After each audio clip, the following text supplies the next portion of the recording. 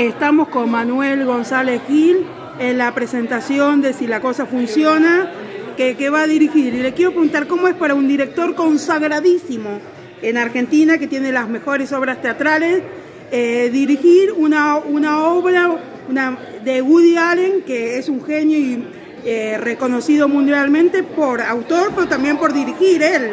¿Cómo, es eso? Un desafío, un gran desafío. Eh, vos sabés que lo que vos dijiste es algo que me he replanteado. Tal vez Woody Allen tenga la, la historia de contar sus libros desde su dirección. Esto en teatro, verdaderamente no lo podemos, nunca lo podemos ver el teatro a través de la dirección de Woody Allen. ¿No hubo autores que también fueran directores en teatro? Sí, lo que te quiero decir es que es difícil que Woody Allen... Ah, sí, claro, sí, obvio. Se, se autodirija en teatro, ¿no? Sobre todo en otro idioma. Y Buenos Aires tiene muy pocas posibilidades de tener un Woody Allen en escena. No han sido muchos los casos de las obras de Woody Allen que han subido a escena. No así su cine. Y tiene que ver con eso, ¿no? Que no es que hay que encontrar un código para contar a Woody Allen como autor, eh, porque él siempre se encarga de contarse. Y hay que encontrar formas, códigos.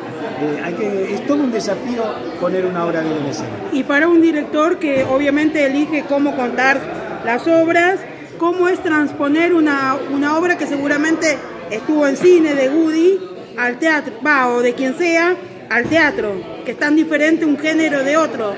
Yo sé que en los últimos 15 años creo que me he especializado en llevar películas al escenario, ¿no? Desde los 39 escalones, desde Extraños en un tren, desde cuando Harry conoció a Sally, Misery. Creo que si me remonto, he hecho casi más, este, casi me he especializado en adaptar películas a, las obras. ¿y cómo, se, ¿Y cómo se hace? Porque en el cine uno tiene mayores posibilidades de que se vea eh, todos los escenarios eh, naturales, verídicos, y en el teatro se profundiza más en los actores y en lo íntimo. Eh, ¿Cómo se hace ese pasaje? Mira, a mí me estimula mucho más cuando parto de un material que es fílmico, porque el teatro se escribe generalmente para cuatro paredes, no sale de esas cuatro paredes, y la película te obliga a hacer un esfuerzo imaginativo muy grande. Y aparte con, con la gente que por ahí, hacer películas tan conocidas, ya vio la película y entonces va a comparar tu obra con lo que vio en el cine, si uno lo conoce, claro. De todas formas es difícil la comparación. Yo creo que son lenguajes bien diferentes y el público entiende que lo teatral tiene que tener un, un código y un formato real. Pero sí lo que me permite es airearlo o sea, eh, generalmente cuando vos trabajás en una película llevada al teatro, tenés la, necesidad de no contarla solo en un lugar.